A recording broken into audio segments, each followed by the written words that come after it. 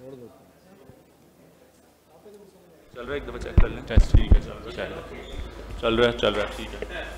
करें स्टार्ट अच्छा जी बहुत शुक्रिया आप सबका। हमारे साथ शान मसूद मौजूद हैं। दो छोटी सी रिक्वेस्ट है एक तो काइंडली अपने सेल फ़ोन साइलेंट मोड पे कर लें। दूसरा सवालात रिपीट ना करिएगा ताकि हर किसी को मौका मिल सके। बहुत शुक्रिया। पहला सवाल जोजी भाई आपसे। शुक्रिया। शान। वालेकुम अस्सलाम। शान कैसे डिस्क्राइब करेंगे और कैसे समअप करेंगे? ये पाकिस्तान के डार्केस्ट नाइन डेज़ हैं होम क्रिकेट में over a period of three decades हमने नहीं देखा कि कभी इस तरह के अपोजिशन से पाकिस्तान इतना फ्लैट गया हो। उसका आप कैसे समअप करेंगे और आप अपनी कैप्टनसी का फ्यूचर कैसे देखते हैं? कीपिंग इन माइंड इंग्लैंड और साउथ अफ्रीका आपका नेक्स्ट अपोजिशन है।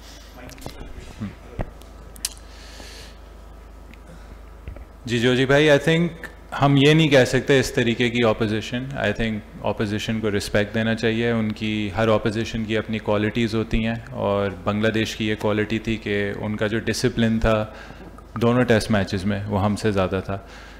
हमें अपने आप को देखना होगा हमने क्या गलतियाँ की और हमने काफ़ी गलतियाँ की हैं इस सीरीज़ में। आई um, थिंक एक एक जो रियलिटी जो सामने आई है जो टेस्ट क्रिकेट की डिमांड है इन टर्म्स ऑफ़ फिटनेस चाहे वो मेंटल हो चाहे वो फ़िज़िकल हो वो चार और पाँच दिन की होती है। और आई थिंक हमने काफ़ी बार इस सीरीज़ में दिखाया है कि वो एक चीज़ है um, जिस पे हमें काम करना होगा इस पर कोई फैक्ट नहीं है। वो कैसे करेंगे? आई um, थिंक एक चीज़ एक चीज़ हमें एक्सेप्ट करनी होगी। Um, जब हम 10 महीने बाद टेस्ट मैचेस खेलेंगे बीच में रेड बॉल क्रिकेट नहीं होगी। आई um, थिंक उन चीज़ों पे हमें काम करना होगा पर्सनली इंडिविजुअली जो भी लड़कों की फ़िटनेस है। क्योंकि देखें पाँच दिन में हमने पहले मैच में चार फास्ट बॉलर्स इसलिए खिलाए थे um, क्योंकि हम समझते थे कि तीन पे लोड काफ़ी होगा।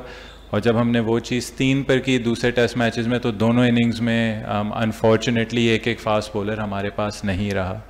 तो ये वो चीज़ें हैं जो हमें देखनी होंगी। बॉलिंग डिपार्टमेंट में बैटिंग डिपार्टमेंट में आई थिंक एक एक स्टोरी है जो इवन जब मैं नहीं खेलता था पाकिस्तान के लिए एक, एक चीज़ पे हमें काम करना होगा कि जब भी सेकेंड इनिंग्स में जो थर्ड और फोर्थ इनिंग्स होती है हमारे ऊपर ज़रा प्रेशर आता है um, उस चीज़ पे हमें काम करना होगा। हमारा अगर कोलैप्स होता है तो तो बहुत ज़्यादा कोलैप्स होता है। अगर आप दोनों फ़र्स्ट इनिंग्स देखें दोनों बार हम टॉस हारे दोनों बार वेदर था दोनों बार पिच में कुछ ना कुछ था हमने पहले मैच में 448 की है दूसरे मैच में हमने 274 की और वो पिच की रिफ्लेक्शन जब उनके 26 पे 6 आउट थे वो पिच की रिफ्लेक्शन थी। उस पिच पे हमने पहले बैटिंग करके 274 की है तो पॉजिटिव साइंस ये थे कि हमने बॉलिंग और बैटिंग में स्टार्ट्स बहुत अच्छे किए हैं लेकिन ओवर आपको फोर फाइव डेज़ ये आपकी फ़िटनेस पे ये आपकी मेंटल टफनेस पे ये इन चीज़ों पर आ जाता है और ये वो चीज़ है जो पाकिस्तान क्रिकेट को काम करना होगा। सेकेंडली um, देखें मैंने कभी भी मैंने जो ये जॉब एक्सेप्ट की है वो वो की है कि हम कुछ चेंजेस करें जो मेरा एक बिलीफ है जो टीम का एक बिलीफ है हम वो चीज़ें ट्राई करें। अगर उसमें सिक्योरिटी की बात आती है मुझे सिक्योरिटी की बिल्कुल भी कोई टेंशन नहीं है। मेरा एक मकसद है कि अगर मैं बिलीव करता हूँ कि ये टीम इस इस डायरेक्शन में जा सकती है इस तरीके से खेल सकती है तो अगर मेरा फेलियर भी उस डायरेक्शन में पाकिस्तान को ले जाए मैं खुश हूँगा तो मैं इस चीज़ से मैं इस पर होल्ड बिल्कुल नहीं रखना चाहता। आ, जो भी जब जब जितना भी मुझे टाइम मिलेगा मैं शुक्र अदा करके वो टाइम करूँगा और पूरी अपनी एफर्ट दूँगा जितनी दे सकता हूँ। शान आपने ऑस्ट्रेलिया में जब कैप्टनसी पहली दफ़ा एज कैप्टन गए थे तो आपने बात की थी डोमेस्टिक क्रिकेट की और रेड बॉल क्रिकेट की कंसिस्टेंटली मिलना। तो इट्स कि पाकिस्तान को पिछले छः सात महीने में नहीं मिली। Um, लेकिन एक एक्सपेक्टेशन थी कि बांग्लादेश पाकिस्तान की शायद बेसलाइन एक लेवल ऑफ़ क्वालिटी है कि at home it would be good enough against Bangladesh Bangladesh ने भी पिछले छः सात महीने रेड बॉल क्रिकेट नहीं खेली। तो ऑस्ट्रेलिया में जब काफ़ी इंकरेजिंग साइंस थे इवन दो मैच नहीं जीते, लेकिन इंकरेजिंग साइंस थे। तो आप ये थोड़े से सरप्राइज़ हुए कि वो काफ़ी वो जो गुड प्रोग्रेस एक लिहाज से थी, वो कुछ हद तक बैक स्लाइड कर गई है। And how do you give confidence to your players to your team and even to the management के आगे जो इंग्लैंड और साउथ अफ्रीका के खिलाफ टेस्ट आ रहे हैं, उसमें उसमें, जो टेस्ट आ रहे हैं, उसमें पाकिस्तान कैन बी कम्पेटिटिव देखें, ये अच्छा सवाल है और इसको इसको ज़रा ऑब्जेक्टिवली देखना चाहिए और जो मेरी, जो मेरा इसमें थॉट प्रोसेस है, अगर एक बार करते हैं, आप कहते हैं अच्छा इंकरेजिंग साइन है, अगले में जाते हैं, दूसरी बार होता है, तीसरी बार होता है। बट आई थिंक अगर हम मेलबर्न टेस्ट से लेके पर्थ का साइड पे रख दें पर्थ आई थिंक हम काफ़ी कन्विंसिंगली हारे थे, उसमें हमें टाइम लगा था टेस्ट मैच में एडजस्ट करने को। मेलबर्न सिडनी दोनों पिंडी के टेस्ट मैचेस मैच हमारे हाथ में आए और हमने फिर मैच हमारा जो कमांड था वो मैच का निकला है। तो आई थिंक ये एक चीज़ है जिसमें हमें काम करना होगा। Um, इसको इंकरेजिंग साइंस है I think it's turning more towards something जिसमें जिसमें हम अभी इतने अच्छे नहीं हैं और हमें इसको बेहतर करना होगा। बेहतर क्या करना होगा? देखें जो टेस्ट मैच है वो चार दिन या पाँच दिन उतनी ही इंटेंसिटी माँगता है। जब एक ऑपोजिशन को आप एक कॉर्नर में करते हो तो आपको मेक श्योर sure करना होगा कि आप इस टीम को बिल्कुल ही साइड पे कर दो। तो चाहे वो ऑस्ट्रेलिया हो, चाहे वो बांग्लादेश हो I think I think answer तो अभी तक सेम है इन टर्म्स ऑफ़ कि हम कौन सी मिस्टेक कर रहे हैं। दूसरी बात देखें ऑपोजिशन को कभी अंडर अंडर एस्टिमेट नहीं करना चाहिए। जो उन्होंने क्रिकेट खेली है, जिस सिचुएशन से अगर उनके आप, अपने आप को उनके पाँव में रख के देखें तो 26 से 6 पे वो मैच में वापस आए हैं। या जो पहला मैच था, जिसमें हमारी टू टू फोर्टी की लीड थी, जब हमने उनके पाँच आउट कर दिए थे, वहाँ से वो वापस आए हैं। तो अपोजिशन को क्रेडिट ज़रूर देना चाहिए लेकिन देखें हमारी गलती हमारे सामने आ, हमारे लिए बहुत इंकरेजिंग साइंस हैं लेकिन लेकिन देखें रेड बॉल की रियलिटी ये होगी हम बांग्लादेश को नहीं देख सकते अगर आप बांग्लादेश को भी देख रहे हैं तो अगर मैं आपको उनकी बैटिंग लाइनअप भी गिनवा दूँ उनके तीन तीन ऐसे प्लेयर हैं जो 80 80 टेस्ट मैचेस खेले हुए हैं उनके लितन दास मैदी 40 40 और टेस्ट मैचेस खेले हुए हैं। हमारे अंदर वो चीज़ तभी आएगी जब आपको रेड बॉल का उतना ही एक्सपोजर और एक्सपीरियंस मिलेगा। हमें अपने स्टॉक्स बनाने होंगे। स्टॉक्स में भी हमने ट्राई किया, थोड़ी सिलेक्शन में कंसिस्टेंसी लाएँ। उन बॉलर्स को चांस दें जो रेड बॉल रेगुलरली खेल रहे हैं। लेकिन देखें रेड बॉल आपसे वो चीज़ें डिमांड करती है जिसमें ब्रेक्स जो है ना टेन मंथ्स के नहीं आने चाहिए। तो ये हमारी रिस्पॉन्सिबिलिटी है कि हम इसको कैसे आगे लेके चलें। Hey Sean, this is Behram Kazi from Grassroots uh, Pro Sports. uh, commiserations on the loss, of course. Uh, so, two questions, right? One is that Jason Gillespie yesterday mentioned that Naseem Shah is fit. So what was the rationale on resting him? Because Pakistan had Bangladesh for 20, or at 26 for 6, right? And Naseem is someone who is known to bowl really well with the old ball. And then Bangladesh, you know, or, or multiplied their score by 10. And your field settings when Mehdi and Litton were batting got a bit defensive. The field spread out a bit.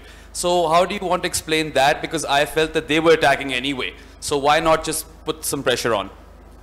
Um, look, I think you have to build stocks when it comes to fast bowling in Test cricket. I think we've seen it in this match. Playing three fast bowlers, we lost uh, Mohammad Ali in the in the first innings, and then we lost Khurram Shahzad in the second innings. The reason, unfortunately, if I had it my way before I had it my way, but if I had the opportunity again, maybe we, would have split Naseem and Shah, Shaheen between the two tests, because you have to be fair to them. Shaheen has played a lot of cricket over the last few years, right? Um, and he's played all three formats. Naseem has just come back from injury. His last test match was against New Zealand in Karachi. So you have to look at the overall health. We're going into a huge season. We have the domestic one day cup. We have England test matches. We have white ball cricket. We have South Africa and West Indies test matches. So you have to look at the whole picture.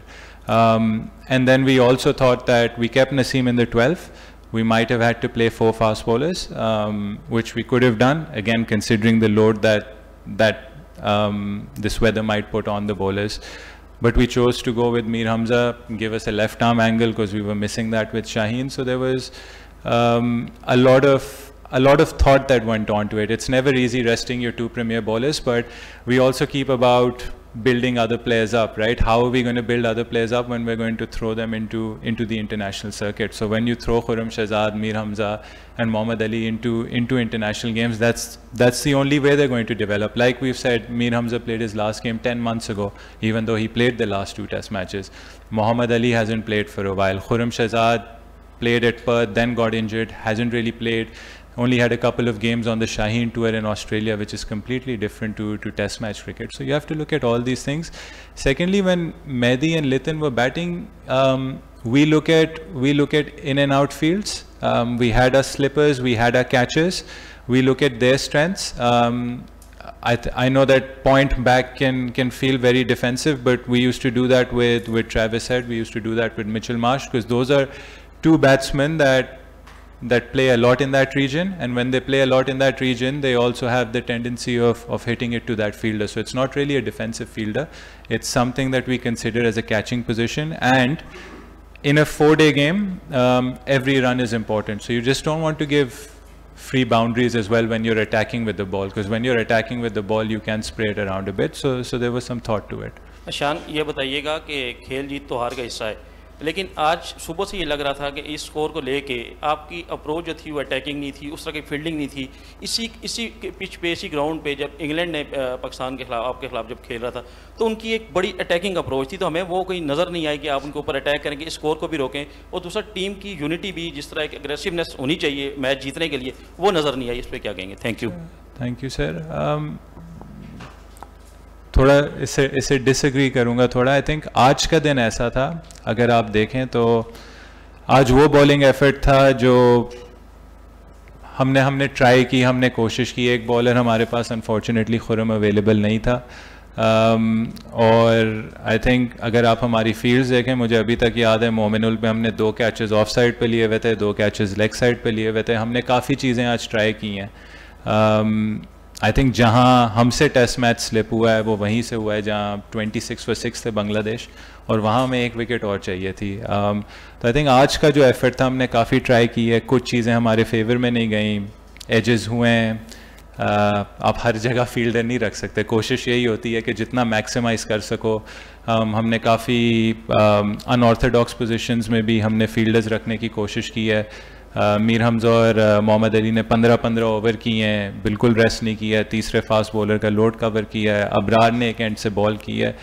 तो I think आज आज वो चीज़ थी जिसमें runs हम कह सकते हैं थोड़े शॉर्ट थे, या हम ऐसा भी कह सकते हैं कि ये इंटेंसिटी इवन कल शाम आनी चाहिए थी, कि जो हमने 42 टू रन दिए हैं सात ओवर में आई थिंक इंटरनेशनल क्रिकेट में हमें इस चीज़ पे काम करना होगा कि इवन देखें अप एंड डाउन होता है। आई थिंक um, ये मैंने एक चीज़ नोट की अप एंड डाउन होता रहेगा। Um, जज्बात से नहीं चलना क्रिकेट का प्रोसेस आपने मेंटेन रखना। क्रिकेट का प्रोसेस डिमांड यही कहता है कि जब न्यू बॉल होती है तो आपने उसको अच्छी जगह पे करना है। जो कल हमने आई थिंक 42 टू रन खाए थे um, वो एक चीज़ थी जो एज ए साइड अनएक्सेप्टेबल है। शान शान मसूद मेरा नाम शकील रवाना और मेरा ताल्लुक ग्रुप से है। मैं सारा और सीधे दो सवाल करूँगा। ये बताइए कि आपने रेड बॉल की जो बात की, क्या आपकी नाकामी में रेड बॉल का इस्तेमाल मतलब टेस्ट क्रिकेट कम से कम होना आपकी नाकामी की वजूहत हैं? हिस्सा ये, अव्वल है। दूसरा हिस्सा ये है, आपकी टीम सिलेक्शन में कितनी चलती है? और आखिर में ये बताइए क्या आप कौम से माफ़ी मांगेंगे तीव्रता शिकस्त पे? या आपके पास दूसरी चॉइस इस्तीफा भी है? सर, आपने दो सवाल कहे थे, आपने तीन पूछ लिया मैं भूल गया हूँ। पहला क्या था?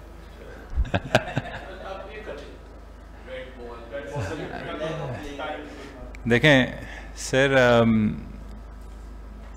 टेस्ट क्रिकेट जो है आई थिंक अल्टीमेट फॉर्मेट है गेम का, और इसमें इसमें आपको एक्सपीरियंस चाहिए। आप अपनी टीम के आप टेस्ट मैचेस निकाल के देख लें overall numbers of number of test matches और कितने टाइम में हम खेलते हैं। ये एक चीज़ है जो एज ए नेशन हमें इस चीज़ पे काम करना होगा। हमें ज़्यादा टेस्ट क्रिकेट खेलनी होगी हमें डोमेस्टिक में ज़्यादा रेड बॉल क्रिकेट खेलनी होगी। जो फॉर्मेट आप खेलेंगे आपको उसके प्लेयर्स आपको मिलेंगे। ऐसा नहीं हो सकता कि आप टी ट्वेंटी कॉम्पिटिशन खेलें और आपको उससे टेस्ट का प्लेयर मिले। सेकेंड um, सवाल? सिलेक्शन में सर वेरी ग्रेटफुल जो सिलेक्टर्स um, के साथ जब पूरी स्क्वाड सिलेक्ट हुई है um, जब टीम uh, मैनेजमेंट होती है जब प्लेइंग एलेवन की बात होती है तो आई थिंक हम लोग एक एक उसको एक डेमोक्रेटिक उससे देखते हैं। हम सारी चीज़ें हम उसको कंसिडर करते हैं। जैसे आपने पहले टेस्ट में देखा हम काफ़ी क्लियर थे कि हमने कौन सी प्लेइंग एलेवन खिलानी थी। सेकेंड टेस्ट में ऑब्वियसली क्योंकि वो चार दिन का हो गया था वेदर उसमें आया था कि हम दूसरा स्पिनर खिलाएँ।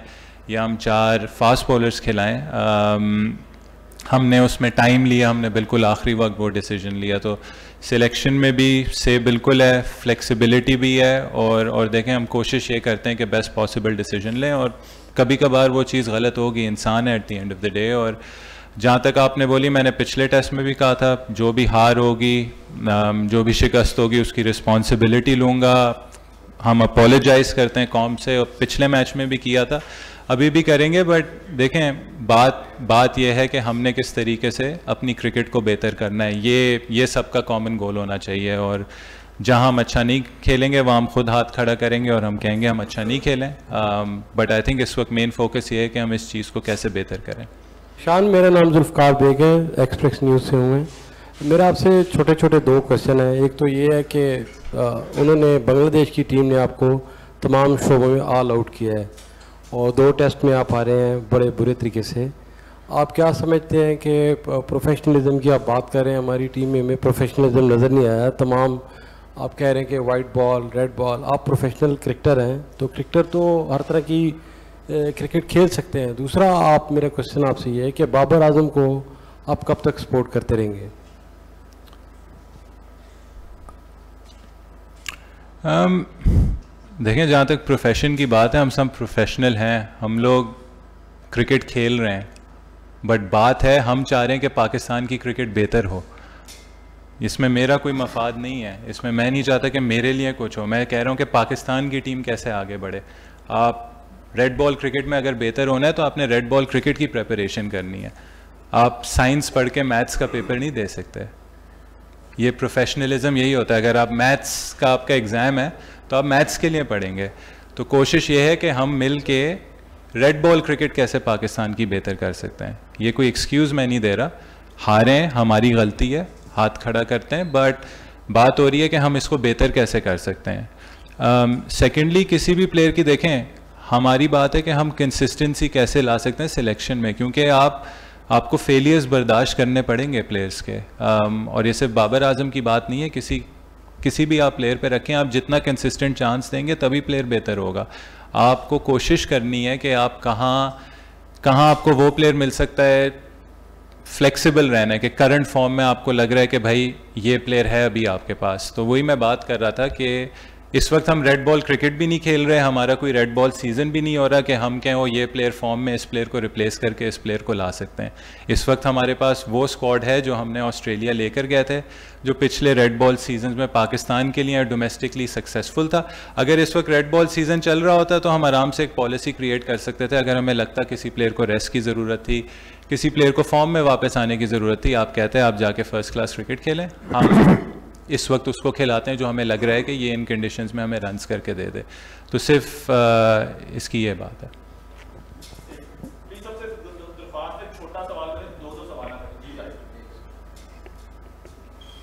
शान बिलाशुबा क्रिकेट एक खेल है और खेल में हार जीत होती है।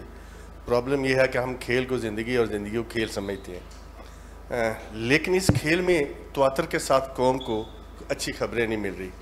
आपने मेलबर्न की, पर्थ की बात की, फिर आपने आप देखें आपके सामने ही है। जो टूर इंग्लैंड का हुआ वर्ल्ड कप हुआ, पहला टेस्ट हुआ, दूसरा टेस्ट हुआ, कब तक आप एक्सपीरियंसेस करते रहेंगे? कब तक आप गलतियों से सीख पाएँगे? और कब तक कौम ये कहेगी कि हम समझेगी कि आप लोगों ने गलतियों से अब सीख लिया है? थैंक यू सर अच्छा सवाल है सर देखें कोशिश कर रहे हैं। हार बिल्कुल एक्सेप्टेबल नहीं है मैं फिर कह रहा हूँ ये कोई एक्सक्यूज़ नहीं है कि हम ये सीरीज़ हारे हमें ये सीरीज़ जीतनी चाहिए थी। इसमें हमने गलतियाँ की हैं। बट हमारी हमारी रिस्पॉन्सिबिलिटी है एज क्रिकेटर्स um, और आई थिंक हम सबको इस चीज़ पे काम करना और हम कर रहे हैं। मैं मैं बिल्कुल ऑनेस्टली आपसे कह रहा हूँ कि कोशिशें यही हुई हैं कि even as a test side देखें मैं अभी टेस्ट साइट की बात कर सकता हूँ कि हम कैसे आगे जा सकते हैं। हमने कोशिश की कि हम कुछ चेंजेस करें। हमने प्लेइंग कंडीशंस में चेंज करने की कोशिश की। हमने प्ले हमने स्क्वाड में कोशिश की कि हम चेंज करें। हमने प्लेइंग एलेवन में कोशिश की कि हम इसे चेंज करें। हमने स्टाइल ऑफ़ प्ले में थोड़ी सी कोशिश की लेकिन देखें कोई भी नई चीज़ होती है उसको टाइम लगता है उसमें फेलियर्स आते हैं। um, कोशिश ये है कि ये चीज़ सही डायरेक्शन में जाए। नंबर वन स्टेप ये है जी हारें मायूसी है। बट कुछ अच्छी चीज़ें भी हुई हैं इस सीरीज़ में। कुछ ऐसी परफॉर्मेंसेज हुई हैं एज ए टीम जो आप आगे लेके जा सकते हैं। तो कोशिश फिर मैं कहता हूँ कि लॉस जो है बिल्कुल एक्सेप्टेबल नहीं है बट कोशिशें ज़रूर हैं कि हम इस चीज़ को कैसे बेहतर कर सकते हैं। शान भाई। वालेकुम शान भी अगर रिसेंट पास में हम देखें तो पाकिस्तान क्रिकेट बोर्ड में काफ़ी कंट्रोवर्सी सामने आई हैं। चेयरमैन तब्दील कोचेस तब्दील कैप्टन तब्दील। वर्ल्ड कप में जो है डिबेकल हमारा वो सामने सबके। क्या आपको लगता है कि इस कैंप में वो प्रेशर वो कहीं ना कहीं जो है वो इफ़ेक्ट कर रहा है? और दूसरा ज़ाहिर सी बात है, बाबर आज़म जो है वो मिडल ऑर्डर में बहुत एक उनका इंपॉर्टेंट रोल है। आपकी उनसे बात हुई है, क्या टेक्निक में मसला है? कोई कॉन्फिडेंस उनका शेक हुए हुए है? कोई उनकी आपके आपके साथ वन टू वन अगर बात हुई हो? देखें चेंजेस होती रही हैं ऑब्वियसली चेंजेस मुश्किल होती हैं। ये नहीं कहूँगा कि कोई चीज़ गलत हुई है। चेंज तो एक नेचुरल चीज़ है। लाइफ में हर दिन अलग होता है। इवन टेस्ट मैच में आप देखें चेंज um, अलग होता है और एज एज प्लेयर्स आपको चेंजेस के साथ एडजस्ट करना होता है।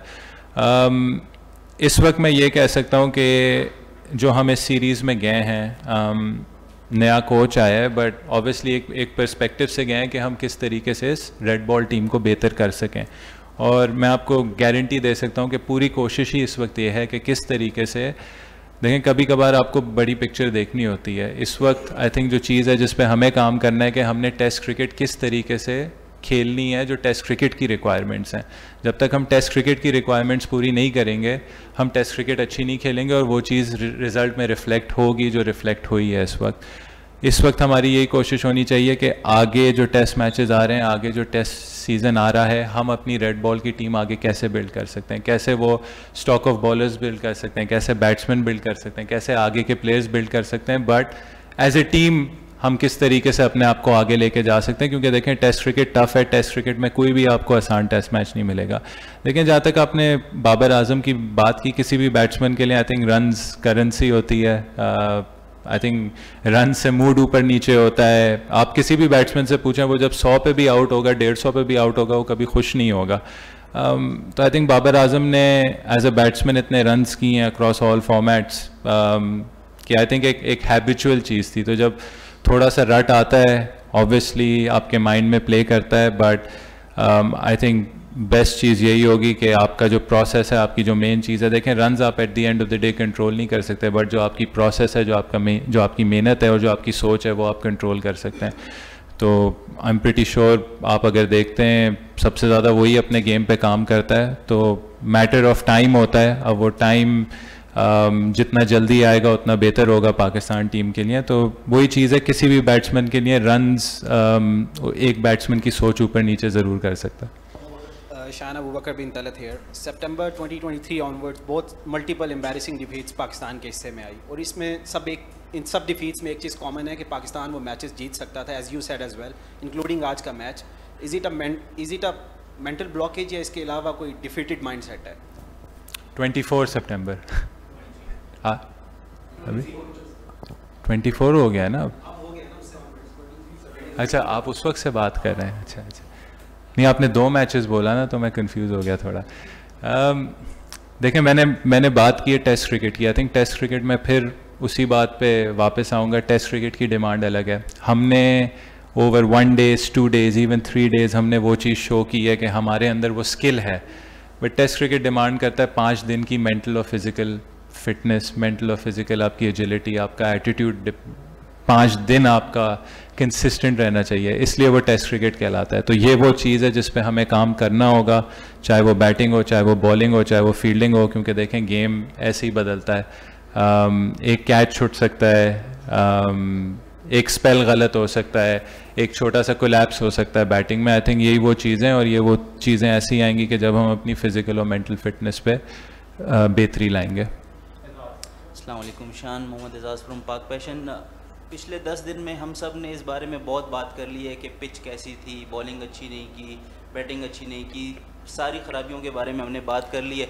जिस चीज़ के ऊपर बात नहीं हुई, ज़्यादातर वो ये है कि इस गेम के जो सबसे ज़्यादा इंपॉर्टेंट स्टेक होल्डर्स हैं, वो फैंस हैं। और फैंस जब तक पाकिस्तान क्रिकेट टीम के साथ जुड़े हुए हैं, आप लोगों को पता है कि वो कितने ज़्यादा लॉयल होकर सपोर्ट करते हैं, चाहे जैसी भी परफॉर्मेंस हो। तो इस वक्त जो थोड़े से हालात ऐसे हो गए हैं कि जो मोस्ट लॉयल फैंस भी हैं पाकिस्तान की वो भी बहुत ज़्यादा आप लोगों से कह लेंगे नाराज़ हैं और एक तरह से they not even following the scores on मक्खी आई थी sorry not even following the scores on online so कैसे आप लोग उनका भरोसा दोबारा जीतेंगे? And how do you make them believe again sir I think one of the best things playing for Pakistan is के आपको जो लोगों का प्यार मिलता है और मुझे उसमें कमी नहीं नज़र आई और नाराज़गी हो सकती है सर। आप अपने घर में आम, आपका बेटा अगर अच्छे रिजल्ट्स ना लाए कोई शरारत करे आप उससे नाराज़ होंगे लेकिन कभी भी आप उसको छोड़ नहीं सकते। तो प्यार तो हमेशा करेंगे ना तो हमें फ़ैन से प्यार हमेशा मिला है और मिलता रहेगा। खुशी इस बात की होती है कि ग्राउंड में लोग आते हैं इस वेदर में आते हैं।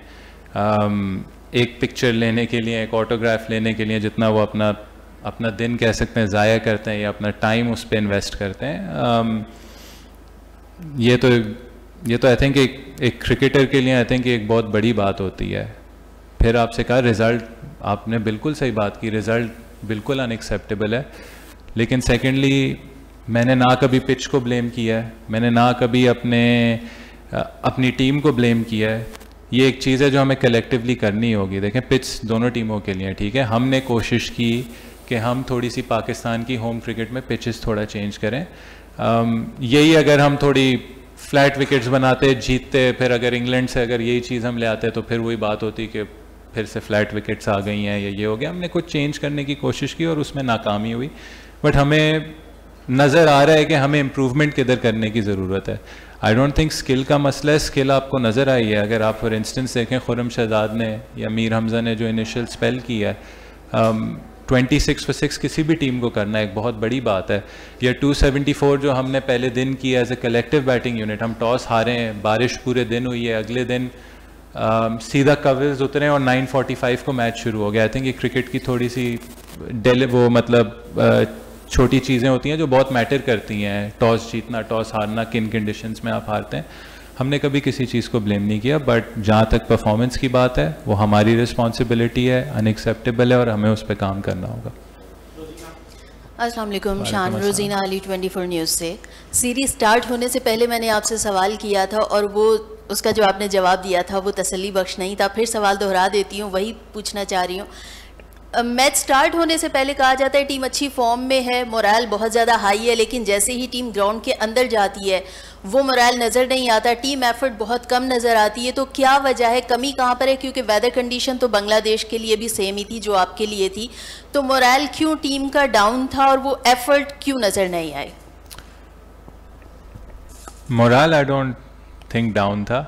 और एफर्ट भी आप कभी क्वेश्चन नहीं कर सकते एग्जीक्यूशन आप क्वेश्चन कर सकते हैं कि हमने जो अपनी स्किल्स हैं, वो सही एग्जीक्यूट नहीं की स्पेशली कुछ सिचुएशंस में जिसमें हम मैच हारे हैं। और देखें क्रिकेट में कभी भी एक कंडीशंस दोनों के लिए सेम नहीं होती कंडीशंस डिफरेंट होती हैं। कभी आप फ़र्स्ट डे पे बैटिंग करेंगे, दूसरी टीम सेकंड डे पे बैटिंग करेगी। कभी आप पाँचवें दिन बैटिंग करेंगे, दूसरी टीम पाँचवें दिन बैटिंग नहीं करेगी। तो ये डिफरेंट चीज़ें होती हैं क्रिकेट की और ये जब आप पूरा अपना करियर देखते हैं या दो तीन साल का आप एक वो स्पैन मैचेस का स्पैन निकालते हैं तो ये चीज़ बराबर होती हैं। बट इस इस उसमें आई डोंट थिंक कि कोई कोई मोरल की कमी थी या कोई आप कह लें एफर्ट की कमी थी। जहाँ लैग थी वो हमारी एग्जीक्यूशन थी। और कुछ क्रंच मोमेंट्स थे दोनों मैचेस में um, जहाँ हमारी टीम टॉप पर थी और जहाँ मैं दूसरी टीम को बिल्कुल ही um, क्या कहते हैं एक साइड पे करना चाहिए था वहाँ हमसे फेलियर हुआ है कि वो चीज़ें हम नहीं कर सके।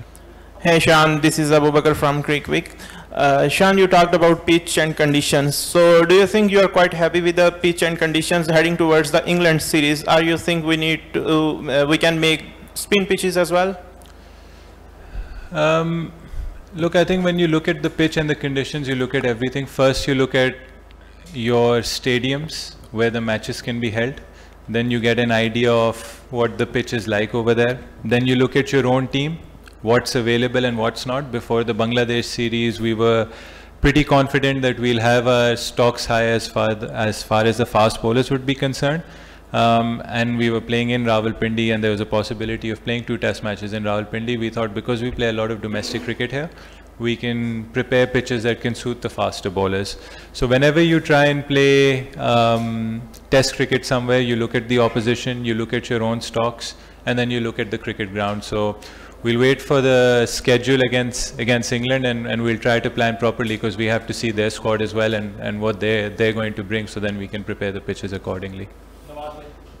शान भाई, ये बताइएगा कि सोशल मीडिया पे और दो, पिछले दो दिन से ये काफ़ी अफवाहें, गर्दिश हैं कि आप इस्तीफ़ा दे रहे हैं।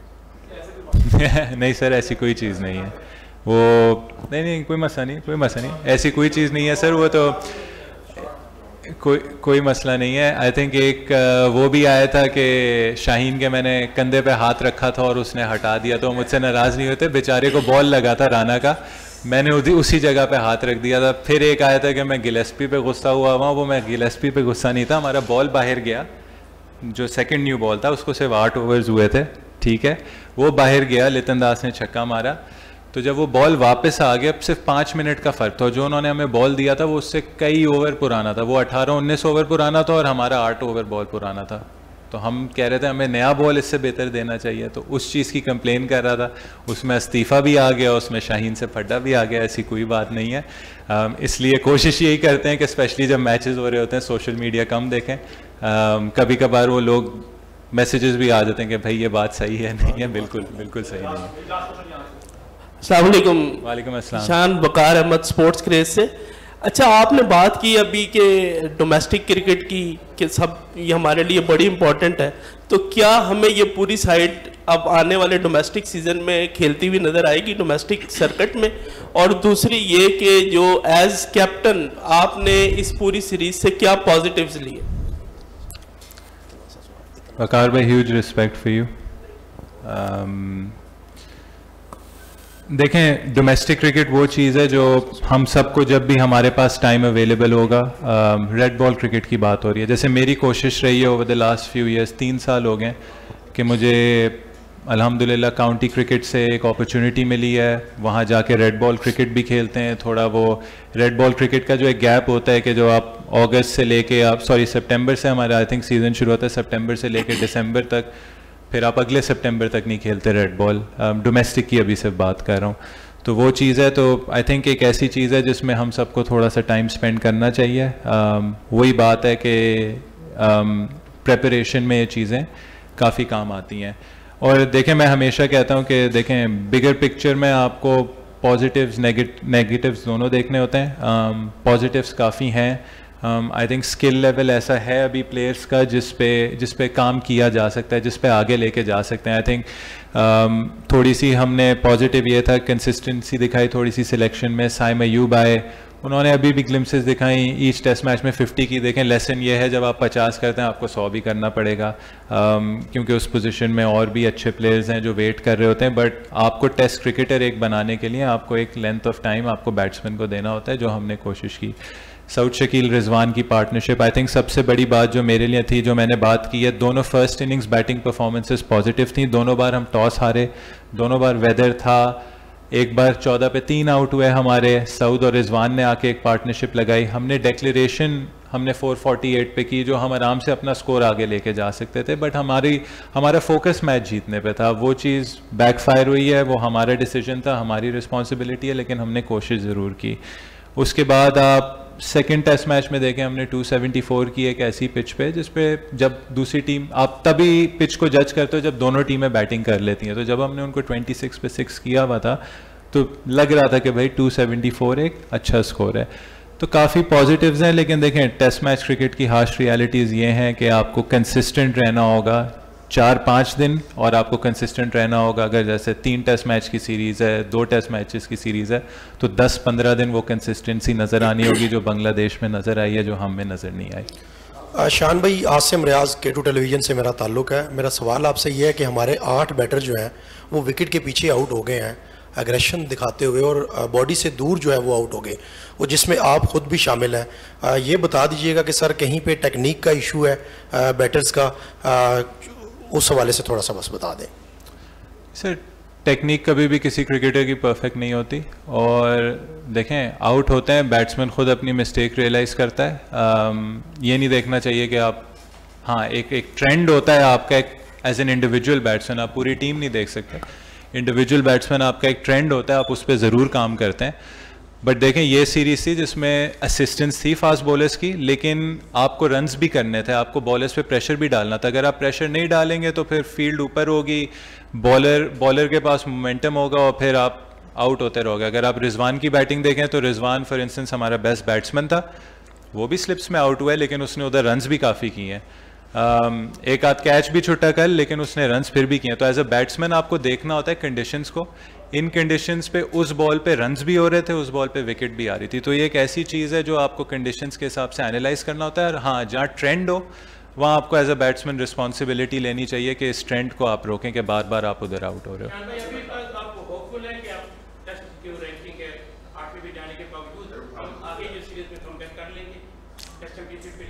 सर हमेशा देखें नया दिन होगा होता है नई अपॉर्चुनिटी होती है। अब जो पास्ट में हुआ है वो पास्ट में हुआ है। इंपॉर्टेंट चीज़ ये है कि हम अपनी गलतियों से कैसे सीखेंगे और इनको आगे कैसे लेके जाएँगे। Thank you sir thank you